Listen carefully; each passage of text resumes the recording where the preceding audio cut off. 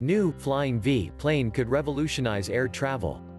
A new aeroplane design known as the Flying V is being developed, potentially changing air travel as we know it forever. The development of the V-shaped, fuel-efficient aeroplane is being funded by Dutch airline KLM and is named after the iconic Gibson Flying V electric guitar used by a number of legendary musicians such as Jimi Hendrix. The design has the same wingspan as existing planes and is able to carry up to 314 passengers, while the aircraft itself widens diagonally backwards from its nose to create the V shape.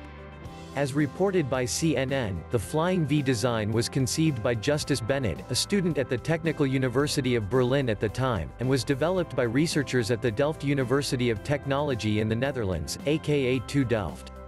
Its futuristic design ensures that passengers will be seated within the wings, along with the fuel tanks and cargo. Not only that but the airline claims the plane will use 20% less fuel than the Airbus A350-900, despite carrying a similar number of passengers. Peter Elbers, CEO and president of KLM, said in a statement. In recent years, KLM has developed as a pioneer in sustainability within the airline industry. We are proud of our progressive cooperative relationship with TU Delft, which ties in well with KLM's strategy and serves as an important milestone for us on the road to scaling up sustainable aviation.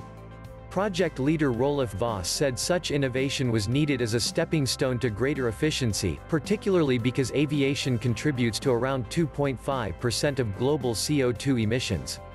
Vos told CNN, the industry is still growing, so we really need to look at more sustainable airplanes. We cannot simply electrify the whole fleet, as electrified airplanes become way too heavy and you can't fly people across the Atlantic on electric airplanes, not now, not in 30 years. So we have to come up with new technologies that reduce fuel burn in a different way. We've been flying these tube and wing airplanes for decades now, but it seems like the configuration is reaching a plateau in terms of energy efficiency. The new configuration that we propose realizes some synergy between the fuselage and the wing. The fuselage actively contributes to the lift of the airplane, and creates less aerodynamic drag. Furthermore, the design mirrors the A350's 213 feet wingspan, meaning it will be able to make use of existing airport infrastructure. Researchers hope to fly a scale model this September, while a mock-up of the new cabin design will be open to the public at Amsterdam's Schiphol Airport in October.